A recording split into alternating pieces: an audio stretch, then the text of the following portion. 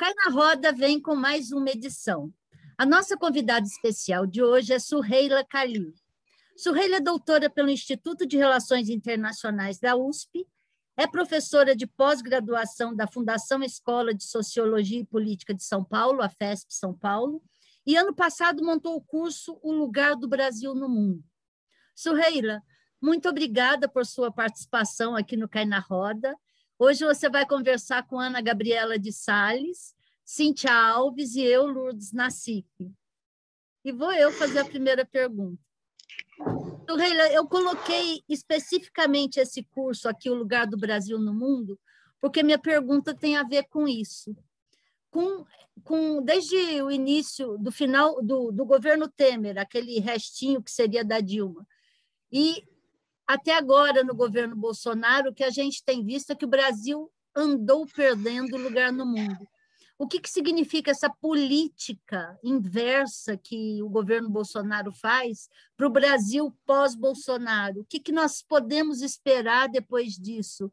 Como podemos reconstruir aquilo que foi destruído? Olha, Lourdes, é, primeiro eu queria agradecer né, o convite, dizer que é um prazer estar aqui. É, é uma excelente pergunta, né? Eu acho que vocês devem ter, né, ter acompanhado os, os acontecimentos né, na, na, nossa política externa nos últimos tempos. É, e eu costumo falar que se existe, se é possível falar que existe algo positivo na política externa do Bolsonaro, é que é, houve uma grande convergência, uma grande união entre diferentes grupos do Itamaraty que defendem diferentes formas de inserção do Brasil no mundo. É, então, o que é interessante é que se a gente tinha antes um debate muito, muito é, presente entre globalistas e americanistas, por exemplo, que era uma divisão clássica dentro do, do Itamaraty, é, nesse momento, existe uma união entre esses diferentes grupos de diplomatas e de formuladores e pensadores da política externa contra a política externa do Bolsonaro. É, e, e, eu acho que é interessante porque houve uma articulação né, é, dos diplomatas, principalmente, desses pensadores de política externa. Eu me incluí nesse grupo no ano passado e a gente lançou justamente uma iniciativa para pensar esse, essa política externa pós-Bolsonaro, né? Porque o que eu acho que a gente cansou um pouco de fazer somente críticas, né? Que são inúmeras as críticas que a gente pode fazer em relação a essa formulação de política externa, e tentar pensar um pouco o que é esse futuro, né? Como é que a gente pode, exatamente como você falou, reconstruir a imagem do Brasil no exterior, né? Porque hoje realmente o Brasil tem sido visto como um país párea, né? E aí a gente pode falar tanto da questão da pandemia, mas é, o Brasil rompeu com inúmeras tra tradições de um país é, negociador, um país de tradição diplomática, né, extremamente admirado né, nos órgãos multilaterais como a ONU. É, o Brasil, por exemplo, acabou se alinhando com teocracias em pautas muito ruins, né, muito nocivas para os direitos humanos, para a questão das mulheres, para as questões de gênero. Então, isso tudo é, levou realmente uma grande reação dessa comunidade política externa brasileira para tentar pensar essa reconstrução. Agora, é, essa reconstrução depende, né, claramente, de um momento pós-Bolsonaro. E aí, eu acho que a primeira questão que a gente tem que colocar é quando será esse momento, né? O que que analisar essa pauta política que está hoje, né? De tempos em tempos a gente acaba discutindo um possível impeachment do Bolsonaro. Né? Será que a gente vai ter um segundo mandato do, Bolsonaro? É, então, acho que quanto mais, na minha visão, quanto mais tempo a gente tiver de governo Bolsonaro, é, seja terminando esse mandato, seja num segundo mandato, muito, muito mais difícil vai ser essa reconstrução. Né? Porque, de fato, existe um grande dano né, na imagem do Brasil no exterior. O Brasil, que era muito admirado, né, que foi capa de, de revistas né, é, internacionais, é, tem uma imagem muito ruim. Né? A gente acaba tendo uma imagem muito negativa hoje é, né, diante dos outros países, diante dos organismos internacionais. Eu queria aprofundar um pouquinho essa história do programa Renascença, né? Eu vi que vocês fizeram esse lançamento, teve até participação do Celso Amorim e outros diplomatas conhecidos, né?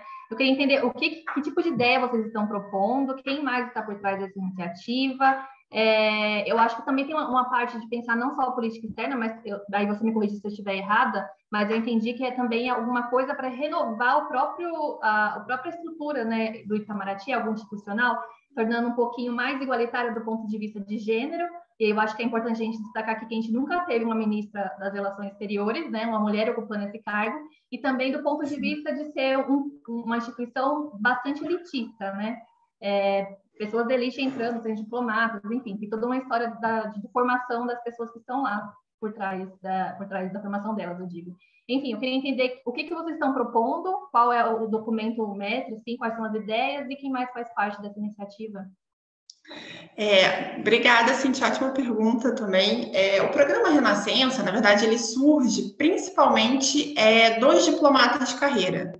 Né? Então, houve uma articulação entre os diplomatas de carreira é, de um movimento contrário à, à, política externa que vem sendo, né, que está em curso agora, que é essa política externa do Bolsonaro.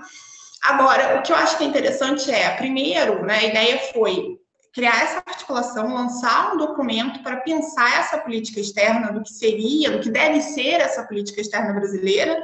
É claramente uma política externa que não é viável nesse momento, é, mas que existe aí né, um conjunto de ideias sistematizado para que para orientar uma possível gestão pós-Bolsonaro.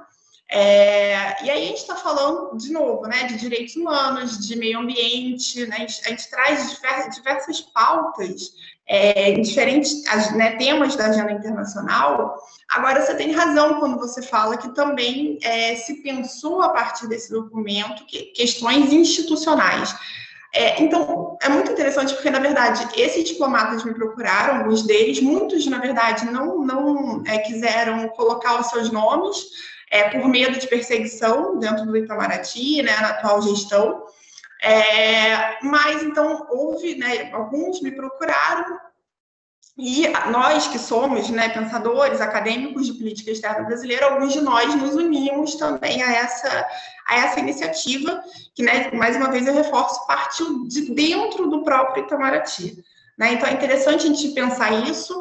E, além disso, quando eles me procuraram, já disse isso para eles naquele momento, que é um, é um documento extremamente inovador porque justamente não só pensa questões que são sim de continuidade, né, dessa, dessa forma do Itamaraty olhar o mundo, é, mas que também inovam em questões que não são é, absolutamente convergentes. Então, eu vou te dar né, um exemplo, você já trouxe, que é a questão da mulher é, e no documento, né, não sei se vocês tiveram acesso, mas no documento se fala em uma mulher feminista no Ministério das Relações Exteriores, né? E eu falei claramente naquele momento, falei, olha, realmente é muito inovador. É, porque eu acho que, enfim, né, se a gente tiver uma mulher, né, acho que já é algo a ser muito comemorado, mas é muito interessante eles terem querido colocar, né, enfatizar que seria uma mulher é, feminista no Ministério das Relações Exteriores, é, mas a gente também tem outras, é, digamos, não sei se eu, se eu, chamaria de inovações, mas que são questões que, que dividem os próprios itamarapecas, né? como, por exemplo, a participação social. Né? Porque se a gente for olhar historicamente para a formulação da política externa brasileira, a gente costuma falar que é, é, é a gente pensa muito dentro dessa lógica dos estadistas, né? os estadistas e burocratas. É, então, ou seja, quem é que formula a política externa? É o presidente da República, né, é o ministro das Relações Exteriores e é a burocracia brasileira. É, e mesmo no Brasil, com a, mesmo com a redemocratização, sempre houve muita dificuldade é, de maior participação social, como aconteceu com outros ministérios, que a gente teve a criação de órgãos consultivos, né, em que representantes da sociedade civil participam participam né, ativamente a partir da redemocratização. É, no Itamaraty isso não aconteceu, né? Então sempre houve muita resistência é, por se entender, né, essa visão mais clássica de que a, a, a, política externa ela é uma política de Estado, ela é uma política que deve ser feita de forma mais silenciosa, né? Então existem aí alguns, né, algumas divergências, eu diria, em relação a isso. E isso, ao meu ver, também é inovador, porque houve poucos passos, mesmo quando a gente fala da redemocratização. E aí eu te falo, por exemplo, a gente teve um, um congresso, se eu não me engano, aconteceu em 2012, que justamente buscou trazer essa participação social, né, trazendo então diplomatas de carreira, membros da sociedade civil e é, acadêmicos para dialogarem, para conversarem, para pensarem essa formulação, mas foram questões muito pontuais. Tá? Então, é, é, um documento vasto, né? são várias agendas, mas acho que esses, esses exemplos ajudam a gente aqui a ilustrar um pouco do que, que foi essa iniciativa. Oi, professora. É, eu queria entrar um pouco no assunto do, do clima, porque eu acho que é um dos temas que mais pegam assim a imagem do Brasil lá fora. E dentro desse contexto, com a chegada do, do Biden, é, uma das principais críticas dele e tudo mais em relação ao Brasil foi esse apelo pelo, pela pelo clima, né, por esse tema. Então, queria que você falasse um pouquinho sobre isso. Ana Gabriela, é, obrigada também pela sua pergunta, e é um, sem dúvida, um tema central, né, quando a gente pensa, é, quando a gente pensa agenda internacional, quando a gente pensa a formulação da política externa brasileira e as relações do Brasil com os Estados Unidos. É, Bom, né, a gente não é segredo para ninguém, né, a gente tem acompanhado as notícias e visto como o Brasil é, tem demonstrado pouca preocupação em relação a isso. É, a diplomacia brasileira não, não tem é, se mobilizado por, por essas questões nas pautas internacionais, nos eventos internacionais, pelo contrário. E não só isso, mas a gente também tem a questão da Amazônia, é, e das queimadas, é, enfim, e a, não só também isso, mas a gente também tem uma postura do governo é, de condenar também os atores sociais, as ONGs, né, os representantes da sociedade civil que atuam em prol do desenvolvimento sustentável, né, do, do meio ambiente. Então, a gente tem né, um, um, conjunto muito negativo e que tem repercutido de forma muito dramática, eu diria, é, na imagem do Brasil no, cenário internacional, né? Então, o que a gente vê, por exemplo, quando a gente lê os jornais na Europa, ou mesmo nos Estados Unidos, é, é, uma, é uma visão muito ruim do governo Bolsonaro em relação a isso. Isso e é importante a gente falar que quando a gente pensa a política externa e relações internacionais, dificilmente a gente vai conseguir tirar uma agenda e dividir como se essa agenda não se comunicasse com outras agendas. Não é assim que funciona. É, então, acho que um exemplo muito forte disso é justamente a negociação do Mercosul com é, a União Europeia, é, em que líderes como Macron, por exemplo, na França, e outros líderes importantes na Europa já falaram que não pretendem colocar esse acordo em prática se o Brasil não, não mudar a sua postura. Então, o que eu costumo falar é que existem custos, né, que não são, isso é muito comum nas relações internacionais, que são os custos não escritos. Né? Então, não precisa haver uma cláusula específica falando que se eu não cumprir determinada normativa, ou se eu não assinar determinado acordo, que eu vá sofrer algum tipo de sanção. A gente tem exemplos históricos, clássicos também no Brasil. Né? Por exemplo, eu me recordo que quando o Brasil, por exemplo, veta a entrada da Alemanha em 1926 na Liga das Nações, é, houve uma retaliação forte da, da, da, Inglaterra na época, que era a favor da entrada da Alemanha, é, sancionando o Brasil, porque o Brasil ainda dependia economicamente é, enormemente da, da, Inglaterra. Ah, então, é só né, também um exemplo de vários que eu poderia dar de como que essa lógica opera. É, então, o Brasil justamente tem tido, acho que o grande ponto aqui é, o Brasil tem tido perdas econômicas e comerciais por conta da questão climática. Né? Não é só uma agenda verde, não é só uma agenda é, que eu poderia, ah, não, então eu não quero negociar isso, como se isso não afetasse questões fundamentais de outras pautas que, né, que esse, né, que o Guedes, né, o Paulo Guedes ou outros é, membros do governo consideram essenciais. Então, esse é um ponto. E aí, só para encerrar um pouco esse tema, é, uma outra questão, claro, é a questão, é, são os Estados Unidos. Né? Então, é, o Brasil cometeu erros muito é, eu diria até amadores, é, com relação à sua negociação com a, a, os Estados Unidos, né, colocou essa, essa política de Estado, eu não diria nem em termos de política de governo, né, mas a gente colocou num tom extremamente personalista, né, e, e o Brasil demorou muito né, para tentar remediar essa situação. Quem sabe que o Bolsonaro, o Eduardo Bolsonaro, apoiaram o, o, o Trump, né? É, não só apoiaram o Trump, mas mesmo quando o Trump perde, é, o Eduardo Bolsonaro, quando o, o Trump, é, enfim, teve o um episódio na, na, no Capitólio é, e o Trump também foi banido das redes sociais, o Eduardo Bolsonaro colocou a foto do Trump, né? Então são vários episódios é, que, é, claro, abalam as relações do Brasil com os Estados Unidos. Esse é o grande ponto. Né? Então, você coloca essas relações como se elas fossem relações pessoais, mas elas não são relações pessoais, elas são relações de Estado, né? e que vão afetar inúmeros grupos. Agora, o que eu achei realmente interessante nesses últimos tempos, que o Bolsonaro tentou remediar isso, né? Saiu há pouco tempo na imprensa agora a carta que ele mandou para o Biden no dia 20 de janeiro, né, veio a resposta agora, se não me engano, no dia 26 de fevereiro. Mas agora, o que, que eu acho interessante, né? Então, Bolsonaro assume um outro né, tom, tenta remediar essas relações com os Estados Unidos, mas qual é a resposta do Biden? Clima. Né? Então, bom, você quer dialogar comigo? A gente dialoga mas a gente vai falar sobre clima e a gente vai falar sobre pandemia, que são que é o grande calcanhar de Aquiles do governo Bolsonaro, né? Então, em que termos a gente vai negociar isso? Em que termos a gente vai falar sobre essa agenda?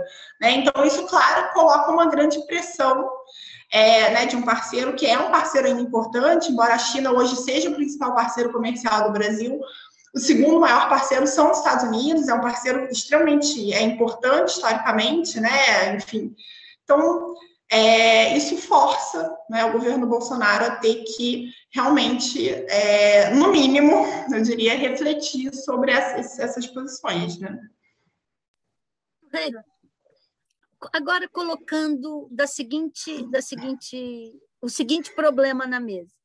O Bolsonaro já já está sendo denunciado por genocídio do povo indígena, genocídio do povo brasileiro pela pandemia, é, tem, tem um. Quando teve o primeiro episódio de, da, das respostas ao, ao mundo pelo fogo na Amazônia, fogo no Pantanal, ele, mandou, ele ameaçou Macron que, que ele iria contar quem eram os compradores de madeira ilegal da, da Amazônia. Foi uma coisa ridícula que ele fez, não teve nem muito, não fez nem muito sucesso, porque o povo não entendeu muito bem o que ele queria dizer.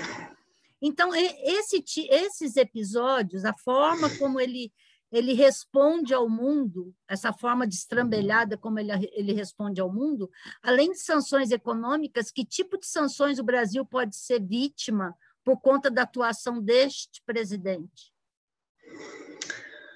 Ah, eu vou dizer, é uma ótima pergunta também, né? É, Olha, o que, que, pode acontecer, né? A gente, porque eu acho que o Brasil ele já vem sendo penalizado, né? Se a gente for parar para pensar, é, mesmo por exemplo com a questão da China, a gente acompanhou agora em janeiro a questão dos insumos farmacêuticos. Isso é uma penalização. Imagina a gente no meio de uma pandemia, dependendo enormemente desses recursos. É, é, o Brasil ficar refém de uma situação dessa, isso é uma penalização enorme, profunda, né? Acho que até, até pior do que outras que a gente poderia pensar, porque isso, isso gera mortes, né? Isso, isso gera perda, é a perda de vida de inúmeros brasileiros, né? Isso é uma tragédia. É, mas, enfim, então, além dessa questão comercial, econômica, né, das, enfim, de, de questões aí na área da saúde, no meio de uma pandemia, a gente pode falar, né, o Brasil, é, o Brasil não, né, o governo Bolsonaro e o Bolsonaro especificamente tem sido denunciado em organismos internacionais, né? Isso aconteceu aí no Tribunal Penal Internacional, né? Esse, esse tema também foi levado à Corte é, Interamericana. Recentemente, vocês devem ter acompanhado também, a própria OCDE criou também né, uma, uma comissão para acompanhar o que está acontecendo no Brasil.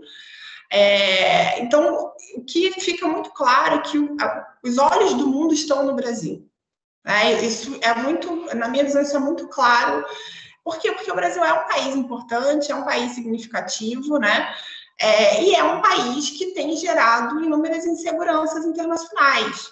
Né? Se a gente pensar, é o que eu falo inúmeras vezes durante as minhas aulas, a gente não consegue pensar nem política pública local sem pensar as relações internacionais.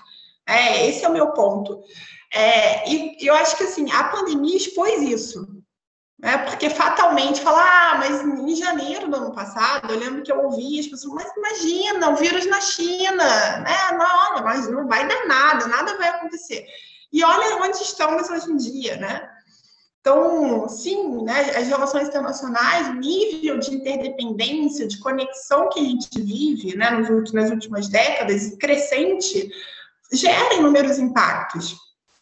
É, enfim, mas acho que a grande questão é, o Bolsonaro, né, quando você faz essa pergunta é, com relação a, a possíveis penalidades, de fato, Bolsonaro tem sido denunciado, é, mas qual é a grande questão? Quando a gente olha, por exemplo, o TPI, a gente tem grandes limitações históricas de julgamentos, né? Então, em geral, aqueles que foram julgados no TPI, em geral, foram lideranças africanas, o que é uma enorme crítica que se faz ao TPI. Né? Então, o que, que eu quero dizer? Né? O direito internacional, quando a gente analisa essa, essas, essas cortes internacionais, é, elas são técnicas, elas são jurídicas, mas é muito diferente da gente pensar a estrutura de um, um, um julgamento no nível nacional. Né? Por quê? Porque o peso da política é muito maior. Né? A soberania dos estados, a lógica de operação do sistema internacional é uma lógica diferente da operação do sistema nacional. Né? Eu sempre falo em sala de aula também ah, se eu estou no Brasil e eu cometo um crime, eu posso dizer, eu posso escolher não ser julgada? Não, né? Se eu cometo um crime em território nacional, mesmo que eu não fosse brasileira, eu não tenho essa opção. Agora, é, essa lógica para a gente pensar o sistema internacional é diferente, né? Porque em geral você tem que ter ratificado, né? Você tem que ter aderido a determinado acordo. Existe uma grande discussão se mesmo as normas de direitos humanos no nível internacional, se elas são aplicáveis mesmo aos países que não assinaram esses acordos. Existe uma divergência sobre isso. Então, isso tudo, claro, dificulta algum tipo de sanção, não só ao Brasil, ao governo Bolsonaro, mas mesmo ao próprio Bolsonaro né, por conta do, do, crime de genocídio que muitos especialistas na área tenham também alegado em relação ao presidente. É, professora, aproveitando que você entrou aí no assunto China, é, o que a gente tem acompanhado aí nos últimos tempos é essa relação conturbada, né, e exacerbada aí pelos filhos do presidente, uns episódios realmente que não dá, não tem nem comentários. Mas assim, o que eu acho que o que a gente percebe é que nos últimos tempos o Brasil acabou abaixando o tom. Acho que principalmente por essa questão da pandemia e de depender dos insumos e tudo mais. Como que você acha que fica essa relação aí daqui para frente em, em termos econômicos e tudo mais? Aí eu poderia fazer um adendo? Claro. Entender... Não, só um primeiro comentário. Essa semana a gente está trocando de ministro da Saúde. O Pazuello fez um comentário maravilhoso essa semana. Ele disse que até agora, estamos em março, ele não entendeu por que, que a China segurou os insumos, segurou o IFA lá em janeiro. Ele não ah, entendeu ele não o que entendeu. aconteceu. Ele falou que a China não se explicou até hoje, coitado. Enfim, alguém precisa explicar para ele o que aconteceu. Mas aproveitando o adendo da, da pergunta da Gabi, eu queria entender as fases do relacionamento do Brasil com a China, queria, porque a gente percebeu que durante o governo Bolsonaro houve esse ataque, assim, é, de baixa categoria dos filhos falando besteiras e entrando em conflito com embaixador, diplomatas, uma coisa ridícula e pública, né? Via redes sociais. Mas é, quando saiu o governo Dilma, houve algum desvio da, na, na, relação com a China, quando entrou o Temer? Porque o que a gente percebe, assim, leigos acompanhando de fora, é que nos governos do PT havia essa aposta de, de se aproximar mais, né? Tinha os BRICS, enfim, tinha todo um relacionamento sendo criado ali. Isso mudou com o Temer ou isso muda agora com o Bolsonaro, professora? Ótimo, meninas. Então, vamos lá. É... Quando a gente pensa as relações do Brasil com a China, É, e aí, sem querer ir muito longe, né? Porque eu acho que é mania de professor, né? E você vai lá para os anos 60 falar. Então, eu vou, vou me controlar e não, não, vou tão longe assim. Mas, assim, eu acho que no mínimo a gente precisa falar dos anos 80.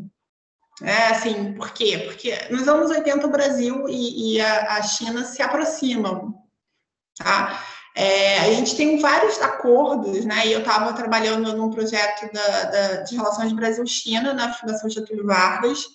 É, e a gente fez um levantamento de todos os acordos que foram assinados entre o Brasil e a China em todos os tempos, né? E fizemos um banco de dados com isso e várias análises, uma equipe razoavelmente grande. É, então, o que a gente observou é que nos anos 80, o Brasil e a China assinam vários acordos. Tá? Então, o que, que eu, eu, acho importante de falar disso? Por quê? Porque, é claro, né, a ascensão chinesa se fala muito da China hoje, mas não é absolutamente novo se falar da relação Brasil-China. Esse é o meu ponto. Tá? Nos anos 80, a gente já tem aí um conjunto de acordos importantes, é, tanto em Figueiredo, no final já do, do regime militar, é, né, da ditadura, e no início é, aí do, do, da gestão Sarney. Tá? Então, a gente tem uma aproximação com a China, isso também muito em função do Deng Xiaoping na China, né, e do, conjunto de reformas que a China estava vivenciando. É, e aí, voltando aí para a pergunta de vocês, né, a questão dos governos do PT. É, em Lula, a gente já tem uma aproximação muito forte com a China, sim. Né? Então, o que eu acho que é importante falar é que é, esse, essa aproximação ela, ela começa nos anos 80, nos anos 90, essas relações ficam mais ou menos, né? Elas até existem, mas elas não são é, tão importantes assim na política externa brasileira.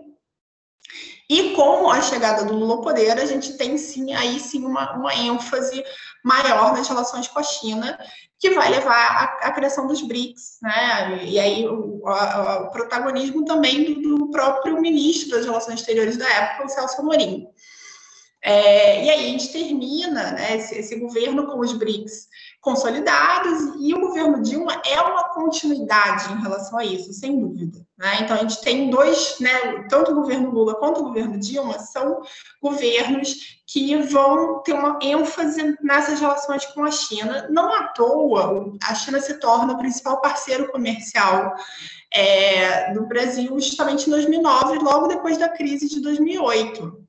É, de novo, não à toa, é, a gente tem aí, claro, uma aproximação do Brasil com a China, mas também a gente tem esse fator exógeno, que é a crise internacional, a crise europeia, principalmente a crise nos Estados Unidos, que vai impulsionar essas relações.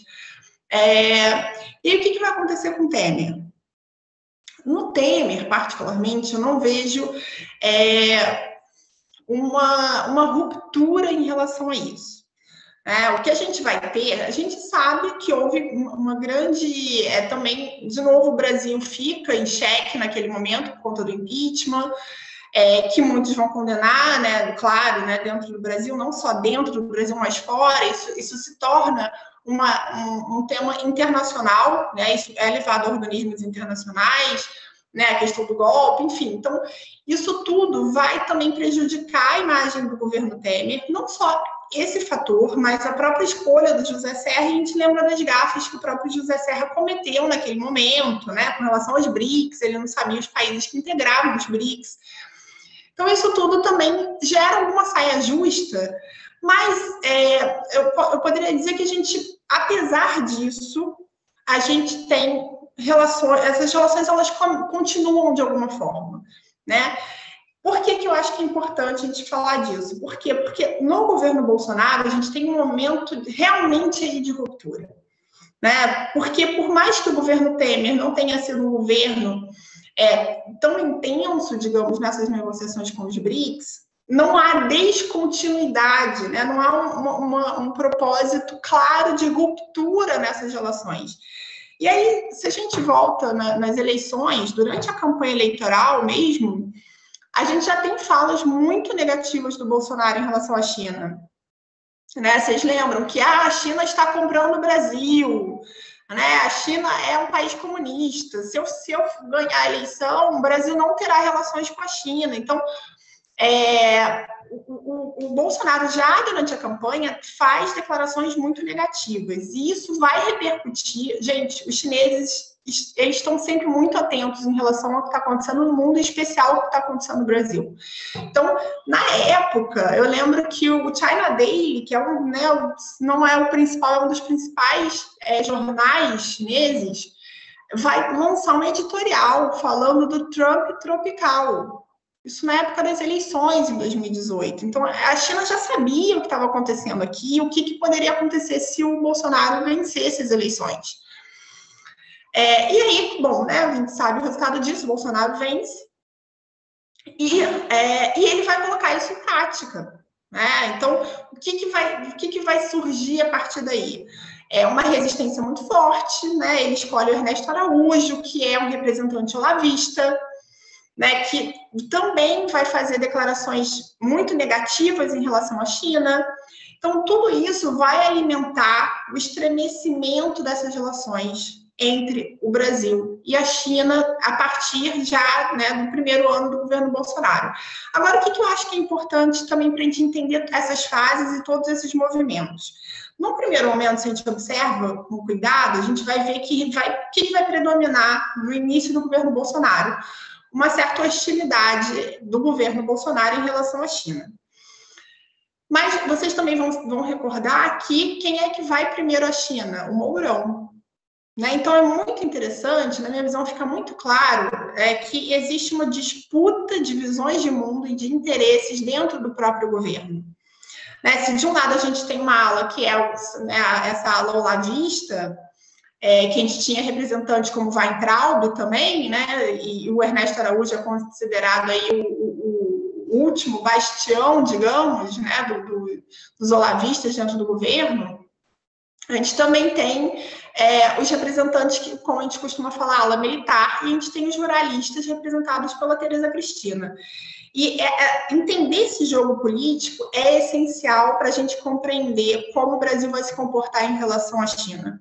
Né? Por quê? Porque o Mourão, né, de novo, desde a época que ele foi à China, ainda durante o primeiro ano do mandato, ele vai sempre dar declarações tentando amenizar essas posturas mais é, que alguns chamam de ideológicas, né, em relação ao, ao, à China, que são de fato muito valorativas, né, que, que trazem aí uma carga é, é que eu não gosto muito, acho que é, muitas vezes se usa essa questão do ideológico de uma forma muito rasa, né? Então, por isso que eu evito utilizar esse tipo de, de, é, de termo, né? Até porque isso também já foi utilizado de forma também incorreta em relação a governos anteriores, eu diria. Agora, é, sem dúvida, a gente vai ter uma, uma, uma visão que eu diria, do governo Bolsonaro em relação à China, que é uma, uma, uma visão preconceituosa, né? Eu acho que isso que é, essa que é a forma mais correta da gente falar. Que vai alimentar, por exemplo, é a criação de termos como é, comunavírus. Né? Isso também é de um amadorismo né, em, em política externa.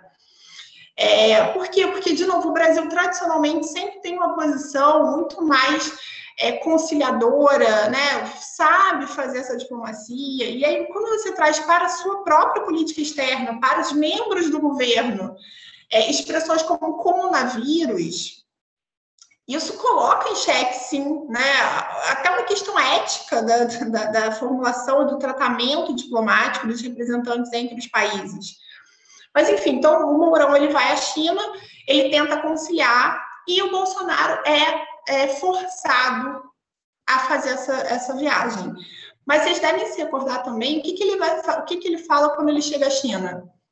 Estou num país capitalista. Ah, então ele tenta justificar para o seu eleitorado que, olha, eu, eu vim aqui, mas ele foi forçado aí, né? Por quê? Porque ele sofreu uma pressão da ala militar, ele sofreu uma pressão dos jornalistas.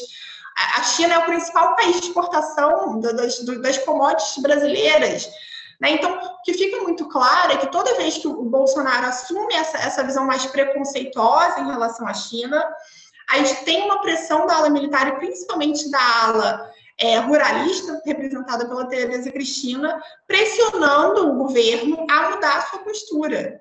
Né? Então, é, isso vai levar a uma mudança de, de, ponto de vista né, em relação à China, uma mudança do, do, do, posicionamento brasileiro, mas com a pandemia isso cai por terra de novo, porque aí vem o coronavírus, o Brasil vai se, se alinhar é, com o que o Trump dizia, né, que o Trump falava de vírus chinês, então o Brasil vai na mesma, é, no mesmo discurso, e aí, né, a gente tem inúmeros episódios de desentendimento entre o Ernesto Araújo, o Eduardo é, Bolsonaro, de um lado, o embaixador Yang Momin do outro, e representantes chineses.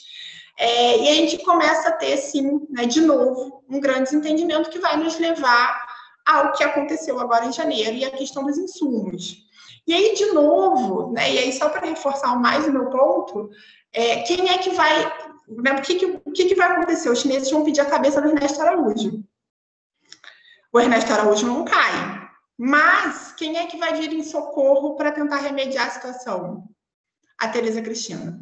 Né? Então, para mim fica muito claro esse jogo de, de, de, atores né, dentro dessa, dessa articulação, até que o Ernesto Araújo acaba sendo banido dessas relações com a China, e quem está operando agora é a Tereza Cristina Mourão e o Flávio Rocha, que aparece aí com uma espécie de 02 no Itamaraty, que é um almirante, na verdade, um militar, que inclusive está sendo cotado para substituir o Ernesto Araújo. Né? Então, a gente está nesse momento vivendo um, né, uma, uma, tentativa de apaziguar essas relações, mas também com uma é, retirada do Ernesto Araújo, que é o nosso ministro, da, dessas negociações, o que gera um grande problema. E, na minha visão, uma, uma, uma situação um tanto quanto insustentável. Né? Até que ponto, até quando é possível manter uma negociação como principal parceiro comercial brasileiro sem que isso passe pelo ministro das Relações Exteriores, né? É muito difícil. É, o Brasil de Bolsonaro está inaugurando várias coisas estranhas ultimamente. A gente vai precisar ser estudado por, por décadas. Bom, mas a, a, minha pergunta é o outro lado esquecido pela, pela, pela política externa de Bolsonaro. Nós tivemos, durante os governos Lula e Dilma, uma aproximação muito forte com a África. Cooperação, a questão de levar empresas brasileiras é, para a África, é, ou seja, era um mercado extremamente promissor, porque estava carecendo da, do desenvolvimento que as empresas brasileiras estavam dispostas ou já prontas a dar. É, no governo Bolsonaro, eu leio jornal todo dia, eu nunca vi a, um país da África em evidência na, na questão da política externa brasileira. Eu estou errada? Eles delegaram também para último plano a impressão?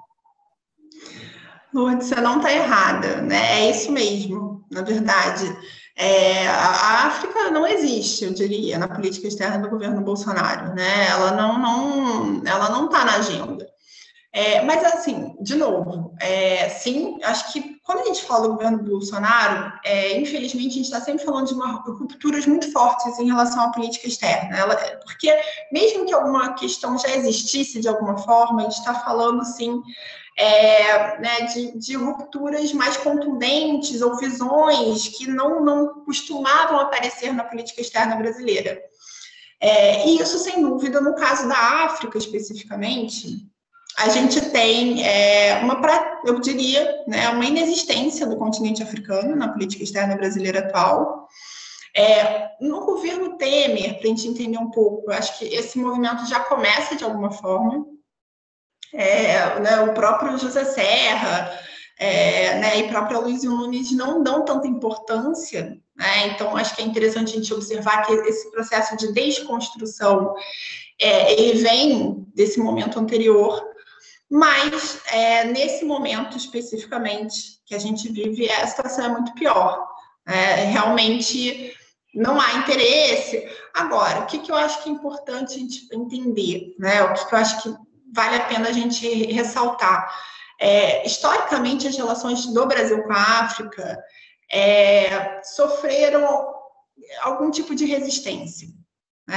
É, então, e aí tanto é que a gente organizou, né, acho que é interessante você falar disso, que a gente organizou alguns anos atrás, no Instituto Lula, a, a revista Diálogos Africanos, é, e foi uma excelente oportunidade, né, porque a gente é, né, recebeu Carlos Lopes, a gente teve a oportunidade aí de conversar com o Celso Amorim, é, né, o Maurício Santori, importantes nomes da nossa política externa, do pensamento de política externa brasileira.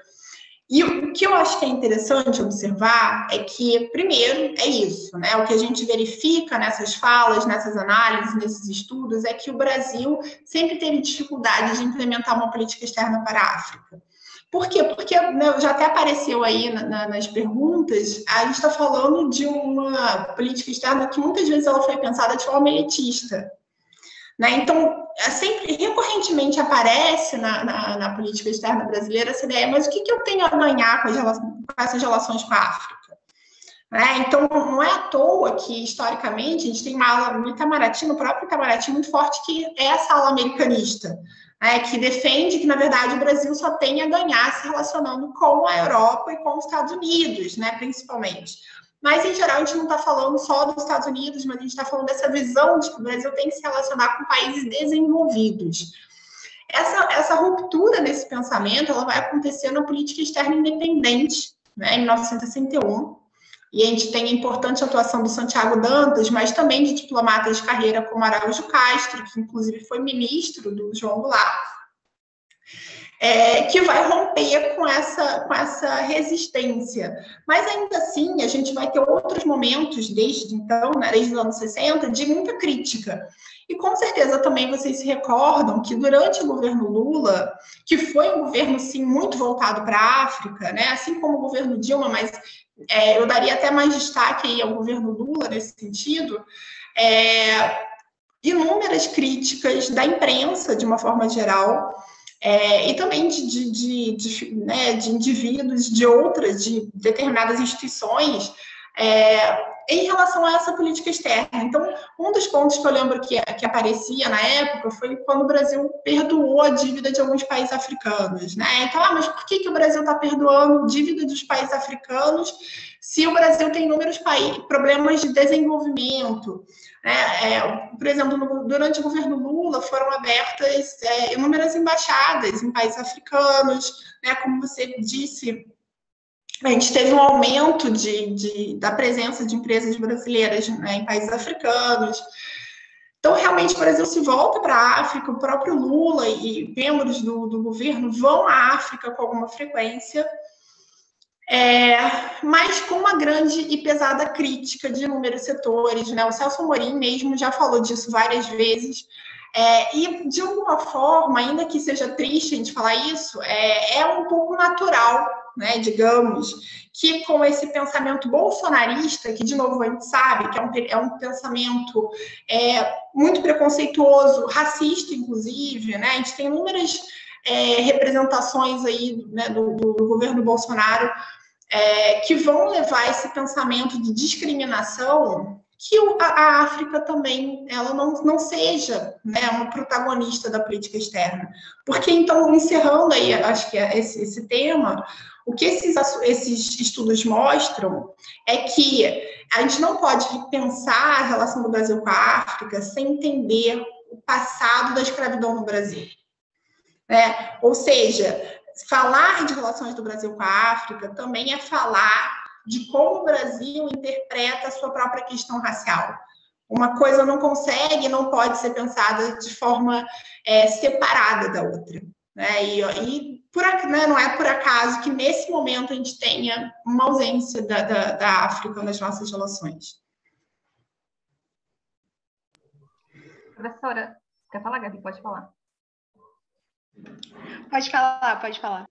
Eu ia mudar um pouquinho, ia voltar para, ou passar um pouco pela América Latina, porque apesar de todas as notícias terríveis, da gente estar tá vendo também o Brasil se isolar em relação à América Latina, e se puder falar um pouquinho sobre isso também, até estava pesquisando, eu vi que no final do ano passado teve um evento no governo da Espanha, né, para discutir o enfrentamento a, a, ao coronavírus, e convidaram vários países aqui da América Latina para discutir até formas de financiar essa saída da crise, e pelo que se entende da matéria do Estadão, nem convidaram o Brasil. Então, não é nem aquela história de que o Brasil não está querendo participar de certas agendas. É o Brasil sequer está sendo lembrado em determinados assuntos, como um assunto grave desse, é discutir financiamento junto ao FMI, enfim, várias pautas envolvendo muito dinheiro para enfrentar a crise. O Brasil não está nem na pauta. Mas, enfim, fora essa situação muito grave, a gente vê algumas mudanças na América Latina é, nos últimos tempos, né? A gente, pelo menos, viu aí na, na Argentina o governo Macri sendo derrotado nas urnas, a, o Chile está aprovando uma nova Constituição. Então, alguns analistas falam até nessa, nessa maré nova que está surgindo, e a minha pergunta é, quando que essa maré de coisas boas vai chegar aqui, se é que vai chegar? Como está analisando esse cenário? Tá bom. Você quer completar alguma coisa, Gabriela, ou não? Posso, posso falar? Tá. Oh, então, gente, é, existem alguns especialistas que falam que os fenômenos latino-americanos eles costumam vir em ondas, né? É, e de fato a gente tem algumas ondas históricas, se a gente pensar o próprio período da independência no século XIX, é, períodos de é, ascensão de ditaduras, né, de governos autoritários, depois de redemocratizações, a gente tem é, aí, né, ou mesmo em tempos mais recentes, a gente tem a onda rosa, né, que foi a ascensão dos governos progressistas no final dos anos 90 e início dos anos 2000. Então, é, Cíntia, respondendo a sua pergunta, eu acredito que é, a gente pode sim identificar influências, né? Então, falar, ah, bom, se a gente está tendo de novo uma mudança na América Latina, na região, isso pode influenciar o Brasil? Sem dúvida, pode. Agora, é, não, essa, essa, essa influência ela não é tão direta. Né? Esse, eu acho que isso a gente também precisa entender, porque são países diferentes. É, então, é, e aí a gente tem de novo inúmeros exemplos né, da própria forma. Bom, a gente teve um ciclo de independência, sim, mas a independência do Brasil não foi igual à independência da, da Argentina, por exemplo. Né? É, mesmo nos anos 90, que a gente teve o consenso de Washington, é, o Brasil vai responder de uma forma diferente da, da Argentina, por exemplo, que vai ter o governo Menem, que vai ter a dolarização da economia. É, a gente tem um governo que é considerado liberal, governos liberais, né, a partir de Collor, mas é, a gente não vai ter o nível de, de, é, de dolarização, mesmo de abertura econômica que a gente vai identificar na Argentina, por exemplo, nos anos 90. É, e por quê? Né? Porque o que a, a, literatura nos mostra é que cada um desses países eles têm as suas próprias estruturas sociais, políticas e econômicas. É, então, é como a gente costuma falar que essas estruturas elas são uma espécie de filtros para a gente ler, para que, né, a partir dos quais a gente interpreta essas pressões internacionais, essas visões, esses discursos internacionais e, esse, e esses grupos políticos eles vão reagir a essas estruturas internacionais de forma diferente por conta disso. Tá? Então, é, se a gente for pensar, né, como é que isso vai chegar, que é a sua pergunta na, na, no Brasil, não só a gente precisa olhar para o que está acontecendo aqui, mas mesmo nos Estados Unidos, né, claramente, a derrota do Trump tem um peso para a gente pensar o enfraquecimento dessa direita ou dessa extrema-direita no mundo. Sem dúvida, isso, isso coloca em xeque, isso corrói esse tipo de pensamento né? Porque, claro, quanto mais países, principalmente os países, as grandes potências, é, elas têm um, um, peso valorativo, né? Um peso de, de, influenciar pensamentos muito, muito forte, né? Claro, de novo, basta olhar para a Revolução Americana, no, né, no final do século XVIII, na Revolução Francesa, como é que essas ideias influenciaram fortemente as próprias independências na América Latina. Agora, é, e aí bom, se eu estou falando que a gente precisa olhar para dentro do Brasil, o que, que a gente precisa ver agora? A gente precisa ver justamente como que esses grupos políticos vão se organizar. E para isso eu preciso entender o Congresso Nacional, eu preciso entender o Centrão, eu preciso entender a relação do Bolsonaro com o Centrão. Né? Então, é, são questões que é, não são menores. É óbvio que quando eu, eu vejo essa transformação no nosso entorno, isso vai ter uma influência. Mas eu também tenho outros fatores que vão concorrer né, com essa influência, que é justamente o jogo político nacional e a capacidade do governo de dialogar com os grupos que dão apoio a ele, né, que é a ala militar. Né? Então, até que ponto o, o Bolsonaro vai conseguir é, continuar com essa sustentação dessa ala militar, que de vez em quando a gente tem aí alguns ruídos nessa comunicação. Ao mesmo tempo, é, se a gente pensar a relação dele no Congresso, é, a gente viu que o, ele, o governo conseguiu uma vitória, né, tanto na Câmara dos Deputados quanto no Senado. É, então, é, e claramente, então, esse o governo ele vai, vai abrir mão de um discurso que ele adotou no início, né? Que era esse discurso de adoro. Eu super te entendo, Cintia, eu tenho filho, é que meu marido tá em casa, entendeu? E ele tá com ele, porque senão era, era a mesma coisa. Adorei essa mão. É, Desculpa, não, é, gente, mas imagina, é a realidade da pandemia. Imagina, eu, eu já estive nesse lugar, tá? Eu super me solidarizo. Mas, não, eu, eu, eu, já, assim, nunca aconteceu, mas eu falei, gente, vai ter qualquer dia. Lembra aquele vídeo daquele acadêmico, acho que britânico? A BBC. Que eu, eu sempre acho que eu vou ser o próximo meme da BBC também. Eu também. Criancinha falsa atrás do cara dando entrevista. Tipo isso que tá acontecendo aqui nesse minuto. Totalmente, não, isso é, é, é, principalmente agora, né, que a gente está totalmente em home office, o tempo todo em reunião, mas enfim, é... ah, agora já até, deixa eu lembrar que eu estava falando, calma, eu estava falando, ah, tá, do Centrão, então, eu acho que o governo, justamente lendo tudo isso, ele mudou a sua posição e passou a negociar com os atores políticos centrais. Ele sabe que ele não ia, ele não ia sobreviver sem essa negociação com o Centrão. Né? É, e isso deu fôlego. É, na minha visão, isso, isso deu fôlego para o governo. É, porque, gente, a verdade é que já está se falando desse impeachment desde os primeiros meses do governo. Eu já vi analistas muito críveis, muito importantes, figuras que têm acesso aí aos bastidores de Brasília já no primeiro ano cantando impeachment. E olha onde estamos, né? Estamos no terceiro ano do governo Bolsonaro e esse impeachment não aconteceu. Agora, é, a gente viu agora as notícias, né? As, as, pesquisas falando que aumentou o percentual de brasileiros é, pró-impeachment nesse momento. Mas não é, não sei até que ponto isso seria suficiente. Né? É, não, isso não é o suficiente para a gente pensar numa que isso seja, que seja possível dar início ao processo de impeachment. Isso que é o meu ponto. Então, por tudo isso, eu vou te dizer que eu tenho até uma visão um pouco pessimista, viu? Eu não sei se é uma forma de lidar com isso, falar. Eu acho que é possível a gente falar de uma reeleição do Bolsonaro.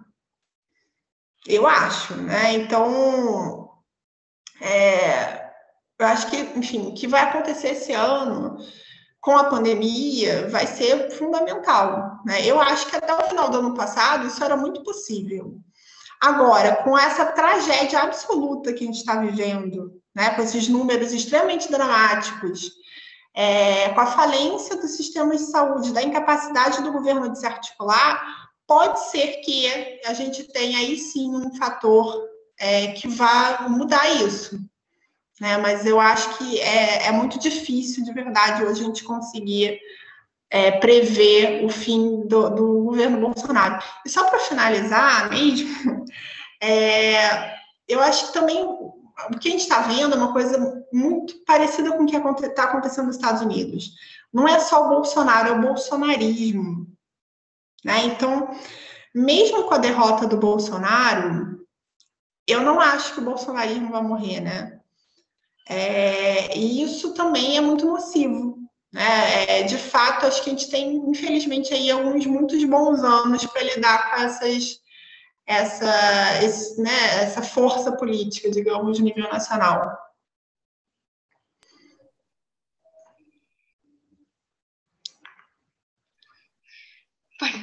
É, Professora, eu queria voltar no, no, assunto de novo, Brasil, China e Estados Unidos, porque eu acho que tem um tema que a gente não comentou e que vale a pena, que é o leilão do 5G, que eu acho que tem muita coisa em jogo e a gente ainda não falou sobre ele. E eu queria entender, porque quem está comandando aí esse processo, que foi na China, foi em outras né, gigantes aí das telecomunicações no mundo é o Fábio Faria, né, o ministro das Comunicações. E eu queria entender como fica, porque os Estados Unidos está ameaçando, né, ameaçou desde o ano passado cortar as relações é, de comércio, enfim, dos empresários aqui com o Brasil. Ao mesmo tempo, o, as empresas brasileiras colocam uma pressão para que a, Way, se eu tiver pronunciado errado, você me, me corrige, enfim, que mantenha aí essa relação, porque já tem aparelho aqui, porque seria melhor, porque é a top no, quando se fala em 5G. E aí eu queria que você me explicasse um pouco sobre isso. Tá bom, Gabriela. É, é uma ótima pergunta, né, gente, também, porque a gente tem uma, uma, uma muitos é, acadêmicos também muito sérios, eles estão falando que a gente tem agora um, um reforço do que a gente chama de capitalismo informacional, né, que é justamente a gente está numa outra etapa do capitalismo, é, que claramente a gente tem aí novas etapas a partir de processos também de, de revoluções tecnológicas, de grandes avanços tecnológicos. É, e o que a gente observa é que a China teve uma importantíssima ascensão nos últimos 20 anos. Né? Se a gente pega dados da, do Banco Mundial, por exemplo, a gente observa que nos anos 90 a China vinha crescendo, mas, de fato, nos últimos 20 anos, esse crescimento ele foi avassalador. Né? E aí, de novo, tem é, né, estudos também significativos que mostram que é, a China ela tem, teve uma ascensão totalmente diferente né, em termos de rapidez de outros momentos da história em, né, em relação à ascensão de outras grandes potências. Eu acho que é importante a gente começar por aí, por quê? Porque, na verdade, o que a gente está observando é, para além de uma disputa tecnológica, a gente está falando de algo muito maior. A gente está falando de uma disputa pela ordem internacional. A gente está falando de uma disputa política entre os Estados Unidos e a China, é, pela, pela, pelo papel de grande potência, de hegemon, como a gente fala no sistema internacional. E geralmente a gente está falando é, dessa ascensão, ela é impulsionada por grandes revoluções tecnológicas, né? Basta, de novo, olhar aquele exemplo clássico que é a Revolução Industrial na Inglaterra e o papel político e econômico que a Inglaterra passa a ter no mundo a partir de então. Tá? É, e aí agora a gente está observando algo muito parecido numa disputa nessa nova fase do capitalismo, né, do, capitalismo informacional entre os Estados Unidos e a China. Isso vai afetar o Brasil, já está afetando o Brasil, mas isso também tem afetado outros países. E a China e os Estados Unidos estão jogando pesado, né, com diferentes atores, né, diferentes países no mundo. Por quê? Porque quem conseguir conquistar esses mercados vai ter um grande impulso na sua, na sua não só na sua, na sua economia, mas também no seu poder político mundial. Ah, então, um exemplo que eu vi há pouco tempo foi a pressão, ainda durante o governo Trump, no final do governo Trump, sobre, por exemplo, Portugal, né, e vários outros países que estão sendo pressionados a banir a Huawei e banir é, a tecnologia 5G, 5G chinesa. No caso do Brasil, isso também está muito claro. Né? É, então, o que a gente vê é que é, né, a gente tem uma pressão muito forte né, de Washington em relação ao Brasil por conta do, do 5G, para que o Brasil não venha aderir à, à tecnologia chinesa. Agora, o que eu acho que a gente tem que olhar com cuidado, né, e, e, essas cláusulas, ou né, essas letras pequenas, elas não estão nas, nos jornais, né? A gente não, não tem acesso total à, à, à forma dessas negociações. Agora, o que, que eu acho que é interessante? A gente pegar, por exemplo, o exemplo do, do Dória, né? Então, eu fiz também nesse projeto da Fundação Getúlio Vargas, eu tive a oportunidade de entrevistar pessoas da Secretaria de Relações Internacionais, a gente faz, né, fez um relatório que vai ser lançado agora, daqui a pouco tempo, com relação à relação do Estado de São Paulo com a China, né? Então, fiz um levantamento histórico. É, e aí fica muito claro que o, o, nas falas desses assessores que São Paulo esteve voltado historicamente para os Estados Unidos. Né? E, diferentemente do nível nacional, é, pelo menos até os dados do ano passado, o principal parceiro comercial do estado de São Paulo são os Estados Unidos, não são a China. Né? Isso é um pouco um ponto fora da curva. A China aparece em segundo lugar, mas os Estados Unidos ainda estão em primeiro lugar, diferentemente do, do ranking nacional. É, mas o que aparece nessas falas é que a China tem oferecido cláusulas mais interessantes, né? e não só oferecido cláusulas mais interessantes do que os norte-americanos, né, ou estadunidenses, como a gente fala, é, mas também tem sido mostrado mais disposta a negociar, mais interesse em negociar com o Estado de São Paulo. Tá? Então, o que, que, é uma questão fundamental quando a gente está falando dessa questão de tecnologia? O que eu acho que o Brasil tem que olhar, né? E aí, de novo, isso não está ainda para a gente conseguir analisar, porque é uma questão muito atual, é, por exemplo, cláusula de transferência de tecnologia. É, é quanto, qual, como é que o Brasil vai conseguir lucrar em termos tecnológicos com essas parcerias? É, enfim, então o Brasil, o que, que eu acho? O Brasil né, tem, a gente tem uma disputa internacional fortíssima e o Brasil precisa é, é, ter uma posição extremamente estratégica nesse tipo de negociação. É, por quê? Porque se, se, é, né, se a gente se alinhar com qualquer um dos dois, né, seja Estados Unidos ou China, é, sem fazer uma negociação que traga frutos para o Brasil, isso vai ser um, um, grande desperdício de um momento que é um momento estratégico. Né? E aí eu te falo também de um outro exemplo também histórico, que eu acho que é importante, né? que a gente fala bastante, que é o período Vargas. Né, que a gente teve uma, na, durante o governo Vargas, a gente tem uma disputa muito forte da questão da industrialização, e o Vargas negocia com os Estados Unidos com a Alemanha até o último segundo para tentar extrair um, né, os maiores, maior é, tipo de ganho possível naquele momento. O que, que o Brasil consegue? A Companhia Siderúrgica Nacional. E a gente costuma falar que esse período do governo Vargas foi um período de política externa é, de ganhos né, para o Brasil, né, em que o, o, governo consegue negociar aí com o chanceler da época, o João da Aranha, ganhos significativos a partir de uma disputa global.